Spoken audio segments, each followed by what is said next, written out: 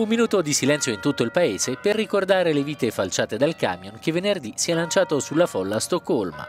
Una Svezia con le bandiere a mezz'asta si è raccolta nei giardini del comune della sua capitale per ribadire il credo nella tolleranza ed esprimere solidarietà ai paesi d'origine delle quattro vittime. Sweden, Belgium and the United Kingdom la Svezia, il Belgio e il Regno Unito sono uniti nel commemorare le perdite che hanno subito, ha detto il primo ministro svedese. I nostri tre paesi hanno certo subito terribili attacchi terroristici. Allo stesso tempo hanno però dato prova di forza, di determinazione e della tenuta delle loro società democratiche. Non ci piegheremo mai al terrorismo. Insieme verremo a capo di questa dura prova.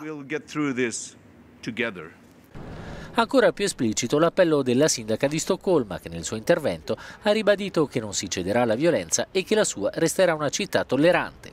Il fatto che il presunto responsabile sia un immigrato uzbeko in attesa di espulsione ha indotto la destra nazionalista dei democratici svedesi a chiedere la detenzione provvisoria di tutti coloro a cui, come nel suo caso, venga negato l'asilo.